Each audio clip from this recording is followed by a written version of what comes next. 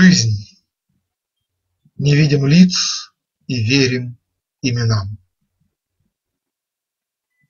Рассказывают, что Пифагор был первым человеком, который назвал себя философом, что означает «любящим мудрость».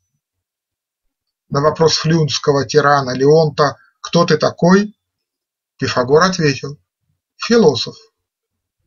Его дерзкий дух правил пути к солнцу, которое во всем и во всех. Вслед за Фалесом Милецким он указал на единство всего и вся. Вода, воздух, апейрон, огонь.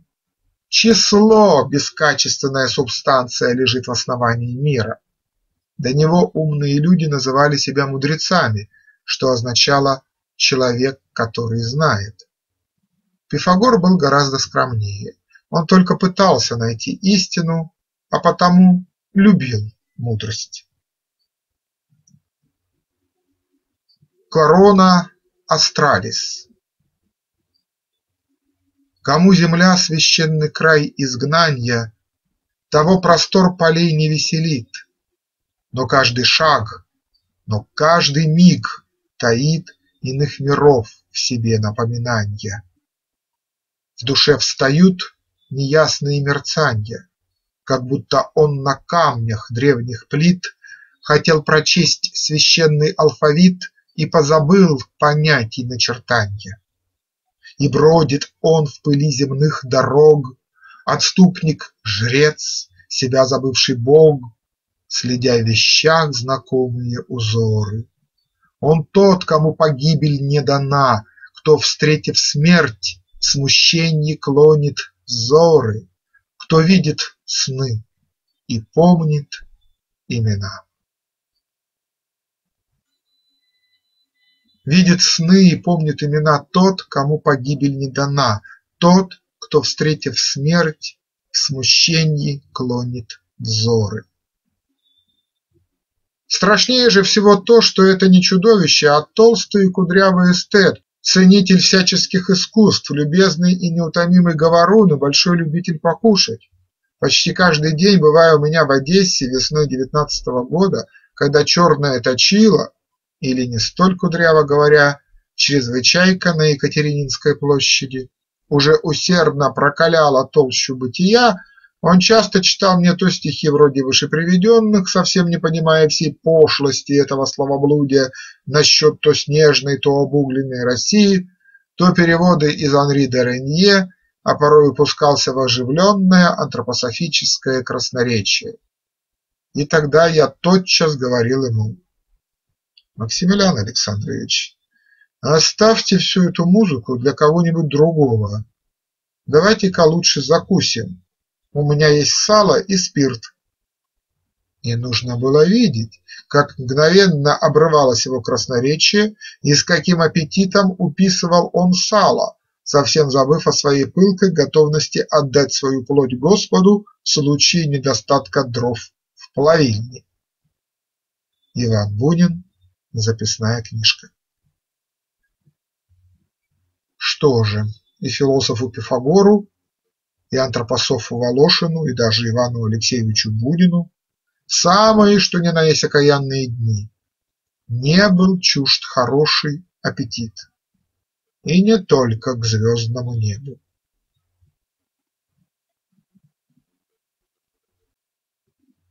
А темные восторги расставания а пепел грез и боль свиданий нам, Нам не ступать по синим лунным льнам, Нам не хранить стыдливого молчания. Мы шепчем всем ненужные признания, От милых рук бежим к обманным снам, Не видим лиц и верим именам, Томясь в путях напрасного скитанья. Со всех сторон из мглы глядят на нас Зрачки чужих, всегда враждебных глаз, ни светом звезд, ни солнцем не согреты, Стремя свой путь в пространствах вечной тьмы, В себе несем свое изгнанье мы, В мирах любви неверные кометы. Осенью 1909 на небосклоне русской поэзии зашла звезда. Это была утренняя звезда, поскольку и Марс, и Юпитер, и Сатурн угасали быстрее. И это была звезда вечерняя, поскольку первой загоралась в вечереющем небе. Елизавета Дмитриева навсегда останется Черубиной де Габриак. Она обретет прекрасную обманную маску ценой собственного лица. Еще неизвестно Анна Ахматова, она самым неожиданным образом войдет в русскую поэзию сразу же после Черубины. Еще слишком юна Марина Цветаева, почти в молитвенном экстазе она жаждет смерти в 17 лет. Черубина единственная отбрасывает тень. Никогда еще салонный Петербург до такой степени не уповал на женщину-поэта. Дует ветер, поклоняйся шуму. Гармония музыки, астрономии и математики, гармония чисел поверялась античной богине серпом в бледной ладони. Таков порядок вещей. Лишь раз один, как папоротник, я цвету огнем весенней пьяной ночью.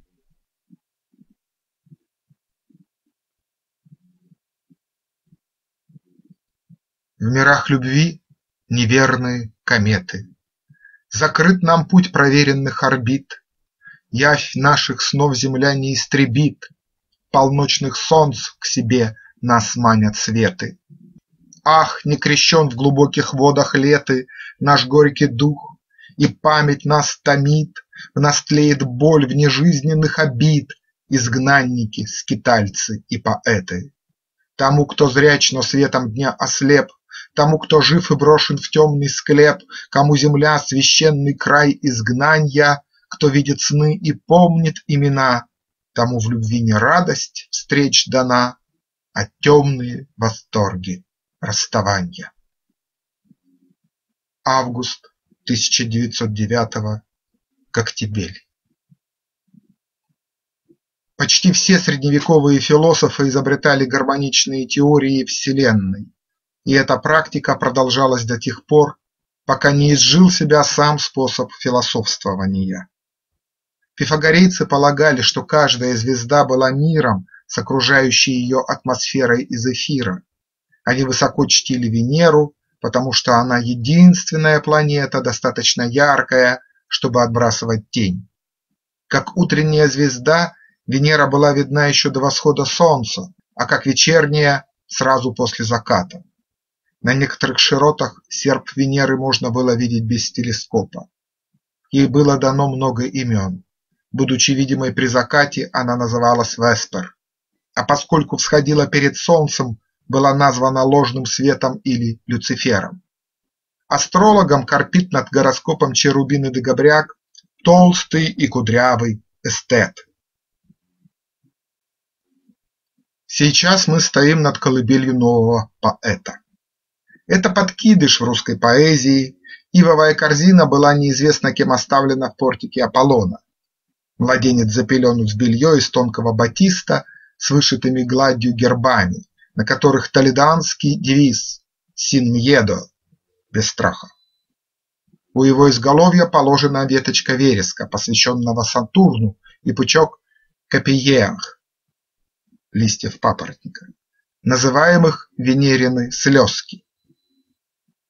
На записке с черным обрезом написаны остроконечным и быстрым женским почерком слова Черубина де Габриак родилась в 1877 году католического вероисповедания. Аполлон усыновляет нового поэта. Максимилиан Волошин. Гороскоп Черубины де Габриак. Блуждание Раскрыв ладонь, плечо склонила. Я не видал еще лица, но я уж знал, какая сила в чертах Венерина кольца.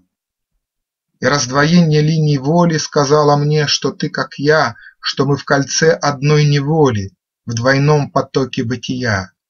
И если суждены нам встречи, быть может, топот и погонь, Я полюблю не взгляд, не речи, а только бледную ладонь.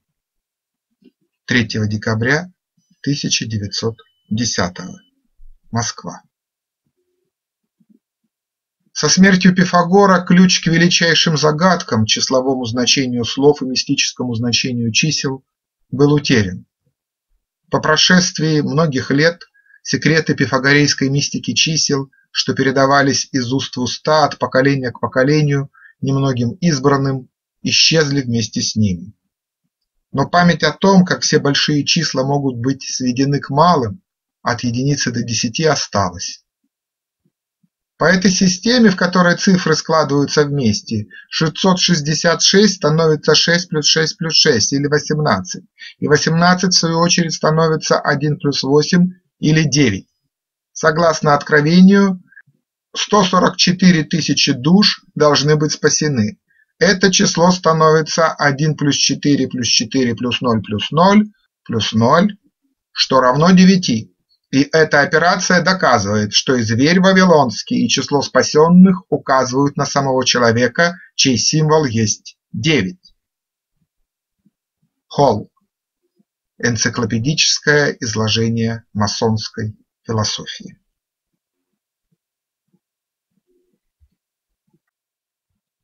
Я верен темному завету, быть всей душой в борьбе, Но змей, что в нас посеял волю к свету, Велев любить, сказал: убей. Я не боюсь земной печали, Велишь убить – любя убью. Кто раз упал в твои спирали, Тем нет путей к небытию. Я весь внимающее ухо, Я весь застывший полдень дня, Неистощимо семя духа, И плоть моя – росток огня. Пусть капля жизни в море канет, Нерастворима в смерти я, Не соблазнится плоть моя, Личина трупа не обманет, И не иссякнет бытие Ни для меня, ни для другого. Я был, я есмь, я буду снова, Предвечно странствие мое. 11 июля 1910 Коктебель Боязнь потерять в море жизни и смерти собственное «я» чревата небытием. Максимилиан Волошин играет в любовь к своему «я», он всей душой в борьбе. Он жертвует приходящим «я» ради целостности духа. Земная печаль совсем не в той печали, когда по велению змея убивают любя, но в предвечности странствия человека, в вечных поисках истоков, в потоке сознания. Сколько света в этом потоке! Куда ему без человечьего тела? Николай Гумилев отвечает одной строкой: Мы меняем души, не тела. Уже в земном своем странстве человек многолик. Волошин неистощимо верит в семя духа. Люди – суть ангелы десятого круга, И плоть моя – росток огня. Такая плоть, в которой эфирное тело, налагаемое на физическое, отображает большую природу – Вселенную. Хорошее соответствие, заданное Творцом между большой и малой природой в ростке огня. Мысль, что заставляет его гореть, неиссякающее бытие. Душа не стареет и не растет, лишь только очищается, чтобы иной душой предстать в восьмой сфере, или природа закрыта для наших требований, направленных в будущее? Так формулирует дилемму малой и большой вселенной Тейяр. И тогда мысль, продукт усилий миллионов лет, глохнет мертворожденная в абсурдном универсуме, потерпевшем неудачу. Или же существует какой-то выход, отверстие, сверхдуша над нашими душами, но чтобы мы согласились вступить в него, этот выход должен быть без ограничений открыт в беспредельные психические просторы в универсуме, которому мы можем безрассудно довериться. Теяр де Шарден «Феномен человека» Мысль обнажает себя для чистого зрения. Пусть капля жизни в море канет, Нерастворимо в смерти я, и «я» души воскресает в сверхдуше восьмой сферы. Нет, не Макс Волошин воскресает в этом «я», а все море жизни и смерти, что внушает «я был, я есть, я буду снова, предвечно странствие мое».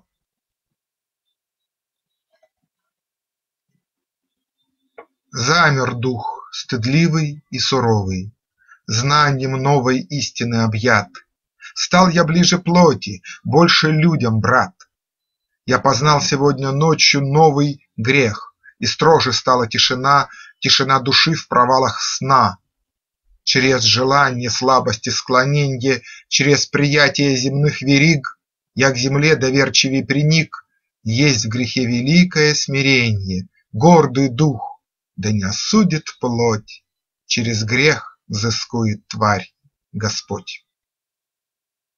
5 января 1912 Париж. В 1932 мироискусник, художник Александр Николаевич Бенуа рассказывал: Его стихи не внушали того к себе доверия, без которого не может быть подлинного восторга.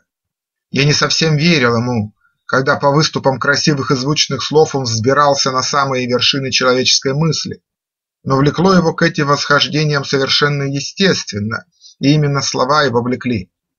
Некоторую иронию я сохранил в отношении к нему навсегда, что ведь не возбраняется и при самой близкой и нежной дружбе. Близорукий взор, прикрытый пенсне, странно нарушал все его зевсоподобие, сообщая ему что-то растерянное и беспомощное, что-то необычайно милое, подкупающее.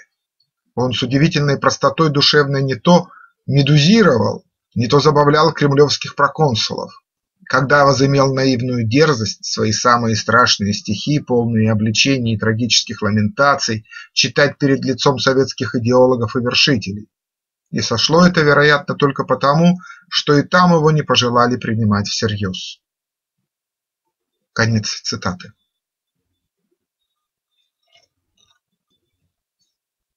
А в 1909-м Зевсоподобному охотно верят – Черубиниана занимается, как пламя костра. Переписка становилась все более и более оживленной, и это было все более и более сложно. Наконец мы слили и решили перейти на язык цветов. Со стихами вместо письма стали посылать цветы. Мы выбирали самое скромное и самое дешевое из того, что можно было достать в цветочных магазинах. Веточку какой-нибудь травы, которую употребляли при составлении букетов, но которая, присланная отдельно, приобретала таинственное и глубокое значение. Мы были свободны в выборе, так как никто в редакции не знал языка цветов, включая Маковского, который уверял, что знает его прекрасно. В затруднительных случаях звали меня, и я, конечно, давал разъяснения. Маковский в ответ писал французские стихи. Он требовал у Черубины свидания. Лиля выходила из положения очень просто. Она говорила по телефону: «Тогда-то я буду кататься на островах. Конечно, сердце вам подскажет, и вы узнаете меня».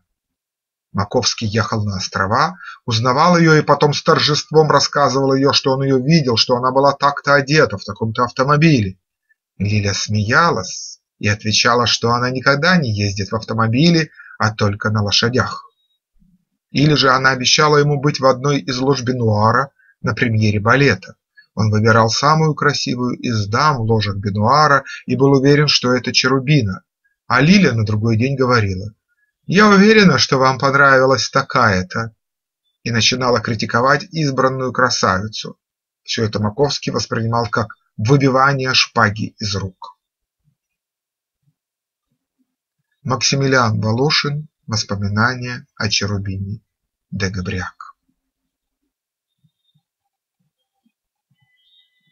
красный плащ. Кто-то мне сказал, твой милый будет в огненном плаще, Камень, сжатый в чей проще, загремел с безумной силой.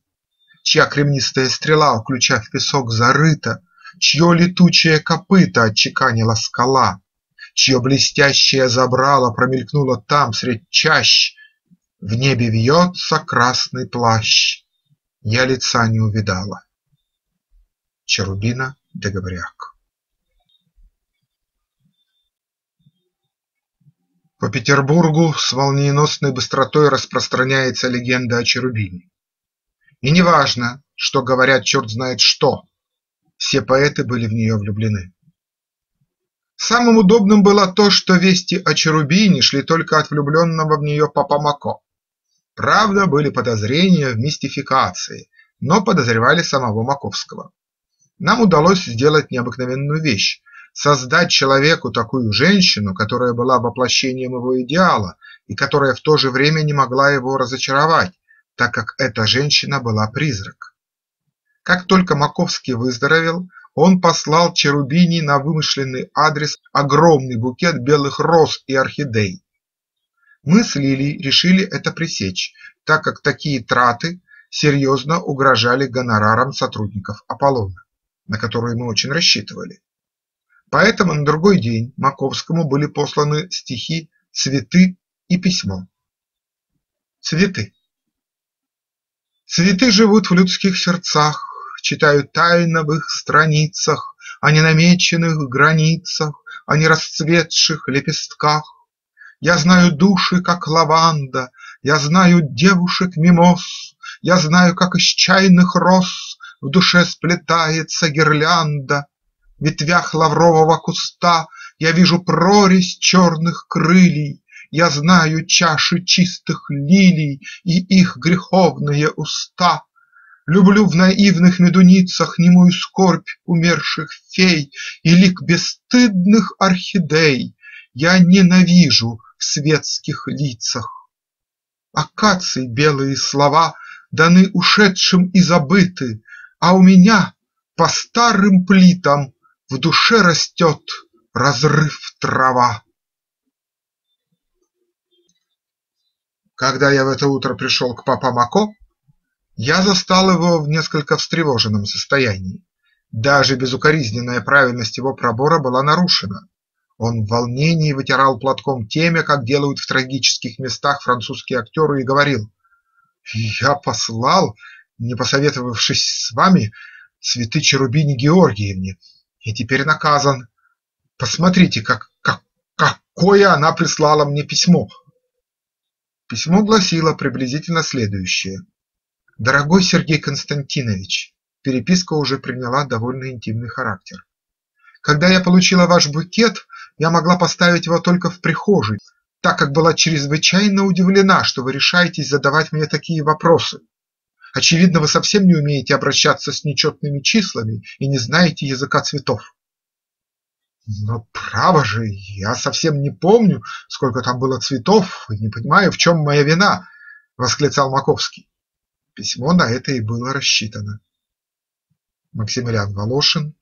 Воспоминания о Черубине де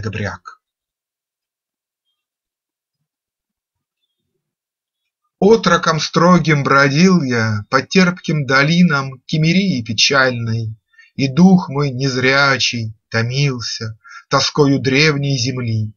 В сумерках, в складках глубоких заливов Ждал я призыва и знака и раз пред рассветом, встречая восход Ориона, Я понял ужас ослепшей планеты, Сыновность свою и сиротство.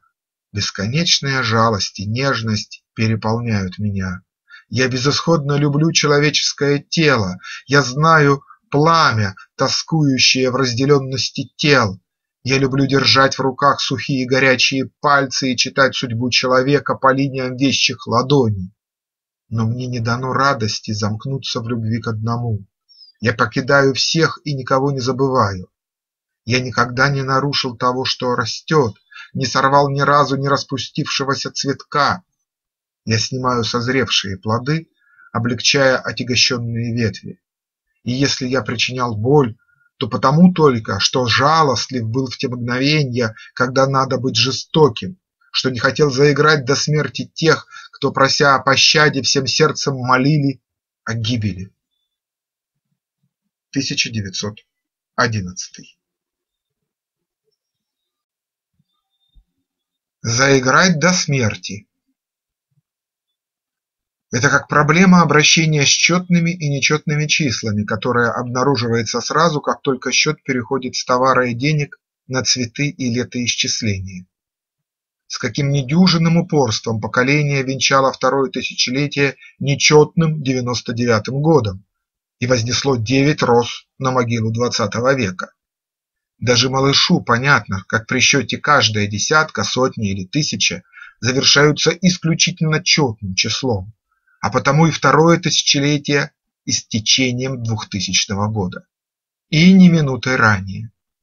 2000 год – такой же символ 20 века, как 1900 – 19 -го. Закрыть два нуля, и цифры 20 и 19 высвечивают последние годы столетий. Один из немногих, символист Волошин знал, что 1900 – последний год постылого XIX века и не встречал XX век в 1900 -м. Хотя, видимо, желающих загодя отпраздновать столетие было совсем немало. Век-то выдался лучшим из веков, со всем, что полагается, когда рождение отмечают прежде, чем оно наступило. Двадцатый век, глухота каменных душ, слепота отвратительных истязаний, революционных мистификаций мировых войн, апологетика бессмысленности, когда, прося о пощаде, всем сердцем молили о гибели. Максимилиан Волошин повествует. Перед Пасхой Черубина решила поехать на две недели в Париж, заказать себе шляпку, как она сказала Маковскому. Но из намеков было ясно, что она должна увидеться там со своими духовными руководителями, так как собирается идти в монастырь. Она как-то сказала, что, может быть, выйдет замуж за одного еврея. Из этих слов папа Мако заключил, что она будет Христовой невестой. Уезжая, Черубина взяла слово с Маковского, что он на вокзал не поедет. Тот сдержал слово, но стал умолять своих друзей пойти вместо него, чтобы увидеть Черубину, хотя бы чужими глазами, просил Толстого, но тот с ужасом отказался, так как чувствовал какой-то подвох и боялся в него впутаться. Наконец Маковский уговорил поехать Трубникова. Трубников на вокзале был. Черубина ему увидеть не удалось, но она, очевидно, его видела, так как записала в путевой дневник, который обещала Маковскому вести, что она ожидала увидеть на вокзале переодетого папа Мако с накладной бородой, но вместо него увидала присланного друга, которого она узнала по изящному костюму. Следовало подробное описание Трубникова, Маковский был восхищен. Какая наблюдательность! Ведь тут весь Трубников, а она видела его всего раз на вокзале. Максимилиан Волошин. Воспоминания о Черубине де Габряк. Блуждание Теперь я мертв, я стал строками книги в твоих руках, И сняты с плеч твоих любви вериги, но жгуч мой прах. Меня отныне можно в час тревоги перелистать, Но сохранят всегда твои дороги мою печать. Похоронил я сам себя в гробнице стихов моих, Но вслушайся, ты слышишь пенье птицы, Он жив, мой стих. Не отходи смущенной Магдалиной, Мой гроб не пуст. Коснись единый раз, на миг единый, Устами уст. 19 марта 1910 Коктебель Сердечным знаком ложится червовая карта. Поэты конца столетия менее всего доверяют ученым. Прокол у них в теории, порез. Владимир Высоцкий.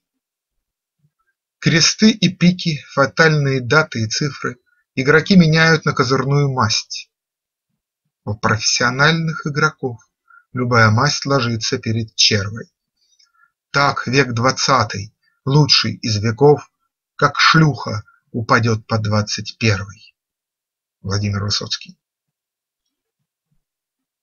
Сергей Константинович Маковский, скорее всего, переходил на третью тысячу, начиная с двухтысячной розы, и не понимал, в чем его ошибка, почему 999 нельзя принимать за целую тысячу. Не был он пифагорейцем, не учился мистике чисел у древних, да и в гимназии наверняка не блистал арифметикой, а потому сам стал жертвой безобидной, как думалось поначалу, мистификации. В отсутствие Черубины Маковский так страдал, что Иннокентий Федорович Анинский говорил ему «Сергей Константинович, да нельзя же так мучиться, ну, поезжайте за ней, истратьте сто, ну, двести рублей, Оставьте редакцию на меня, отыщите ее в Париже. Однако Сергей Константинович не поехал, что лишило историю Черубины не безинтересной страницы. Для его излияния была оставлена родственница Черубины, княгиня Дарья Владимировна, Лида Брюлова. Она разговаривала с Маковским по телефону и приготовляла его к мысли о пострижении Черубины в монастырь.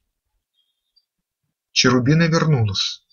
В тот же вечер к ней пришел ее исповедник, отец Бенедикт. Всю ночь она молилась. На следующее утро ее нашли без сознания, в бреду, лежащей в коридоре на каменном полу возле своей комнаты. Она заболела воспалением легких. Максимилиан Волошин Воспоминания о Черубине де Габряк Исповедь В быстро сдернутых перчатках Сохранился оттиск рук. Черный креп в негибких складках Очертил на плитах круг. Я смотрю игру мерцаний По чекану темных бронз И не слышу увещаний, Что мне шепчет старый ксенц. Поправляя гребень в косах, я слежу мои мечты, Все грехи в его вопросах Так наивны и просты. Ад теряет обаянье, Жизнь становится тиха, Но так сладостно сознанье Первородного греха. Черубина Дегабряк Теперь Дегабряк жил своей жизнью, Ни маленькая девушка с внимательными глазами и выпуклым лбом, Дарившая ему свои стихи и любовь, Ни маниакальный драматург, изрекший его имя, более не были властны над ним. Тенью девушки бледной является он, Низким голосом женским говорит в телефонной трубке.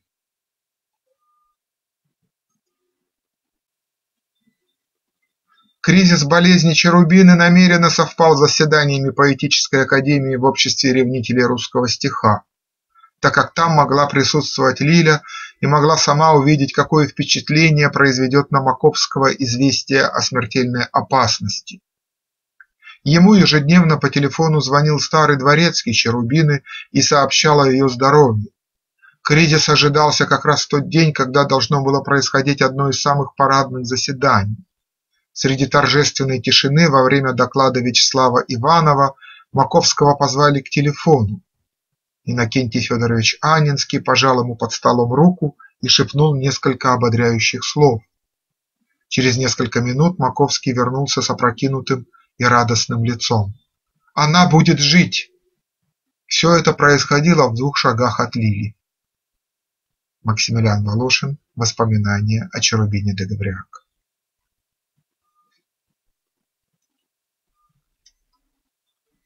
Замкнули дверь в мою обитель навек утерянным ключом, И черный ангел, мой хранитель, стоит с пылающим мечом. Но блеск венца и пурпур трона не увидать моей тоске, И на девической руке ненужный перстень Соломона. Не осветят мой темный мрак великой гордости рубины. Я приняла наш древний знак, святое имя Черубины. Черубина де Габряк. Обед, принесенный морскому дьяволу, востребовал все существо Елизаветы Ивановны, постепенно умерщвляя все личное, все живое, что не принадлежало ему в маленькой поэтессе.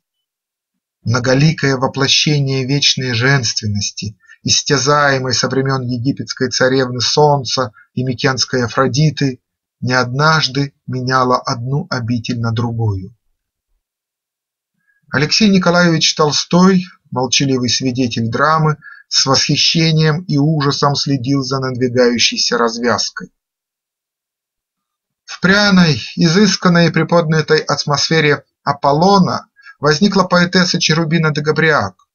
Ее никто не видел, лишь знал ее нежный и певучий голос по телефону. Ей посылали корректуры с золотым обрезом и корзины роз. Ее превосходные волнующие стихи были смесью лжи, печали и чувственности. Я случайно, по одной строчке, проник в эту тайну И я утверждаю, что Черубина де Габриак действительно существовала. Ее земному бытию было три месяца. Те, мужчина и женщина, между которыми она возникла, не сочиняли сами стихов, но записывали их под ее диктовку. Постепенно начались признаки ее реального присутствия. Наконец, они увидели ее однажды. Думаю, что это могло кончиться сумасшествием, если бы не неожиданно повернувшиеся события. Алексей Николаевич Толстой, Николай Гумилев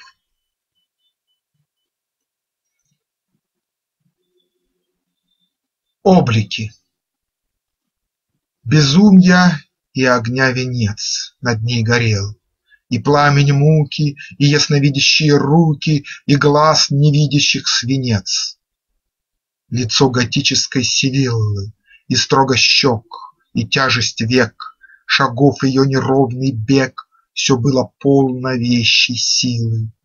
Ее несвязные слова, ночным мерцающие светом, Звучали зовом и ответом, Таинственная синева ее отметила средь живших, И к ней бежал с надеждой я От снов дремучих бытия, Меня отвсюду обступивших. Звезда отбрасывала тусклый и холодный свет. Тени от ее пугливых темно-зеленых лучей были огромны, но страшны и нелепы. Что, моя мать умерла или нет? Я совсем забыла и недавно, говоря с Маковским по телефону, сказала «моя покойная мать» и боялась ошибиться. Мифические спутники окружали звезду, их число росло, и она уже боялась, как бы не задохнуться в мертвенной зыбкой атмосфере призраков. В анфиладах зеркал, дробясь и множась, устало и бесконечно отражалось одно и то же лицо. Наконец случилось то, чего так боялась Лиля. Маковский получает письмо за именем Черубины и написанное чужой рукой. Блуждание Я глазами в глаза вникал, Но встречал не иные взгляды, А двоящиеся анфилады Повторяющихся зеркал. Я стремился чертой и словом Закрепить приходящий миг, Но мгновенно плененный лик Угасает, чтоб вспыхнуть новым. Я боялся, узнав забыть. Но в стремлении нет забвенья, Чтобы вечно сгорать и быть, Надо рвать без печали звенья.